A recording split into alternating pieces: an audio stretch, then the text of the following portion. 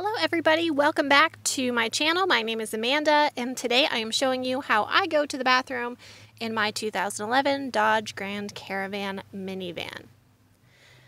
As you can see, I have floor space in my minivan that was very important to me to have and I used to go to the bathroom on a five gallon Home Depot bucket with a portable toilet top on it. I would just set it right here if I needed to use the toilet in my van and it worked really well because I have plenty of headroom. But I have since upgraded. So, although the five gallon bucket works extremely well and it's a very cost effective option, I have since upgraded after I was gifted with a camping toilet. So, what you're looking at right now is my bed that I'm sitting on and my dog's bed. But when my dog is not on his bed, or once we've stopped to go boondocking, underneath his bed is this box. And underneath this box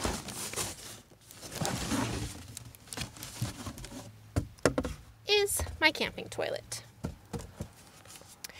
I keep the box that it came in over the top of it because A, it makes a great bed for my dog and it just really conceals the toilet well and um, you know any scent that might come out of it is hidden by the cardboard box.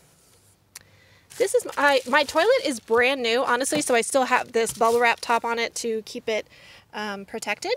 But this is my toilet. How cool is that, you guys? So this is a fully functional toilet. It even flushes. Okay.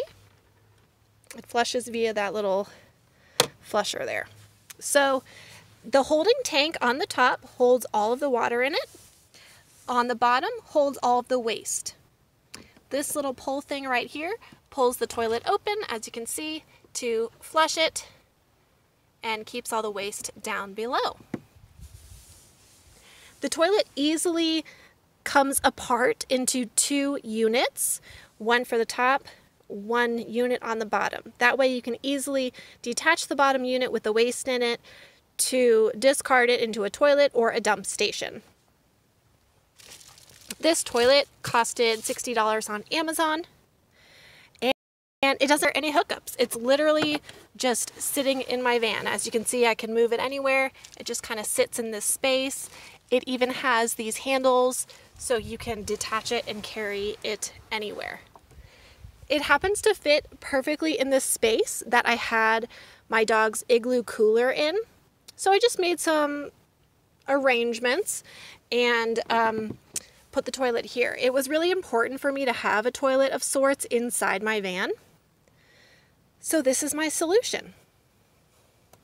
I also got this Coleman uh, holding tank deodorant. So basically, this keeps the toilet from smelling.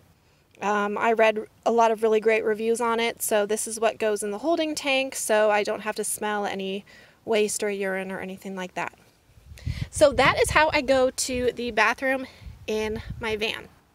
Now, when I'm stopped to, at a campsite or to go boondocking, I can take the toilet out, replace it with this with this box so I can still have the box in the area for my dog's bed.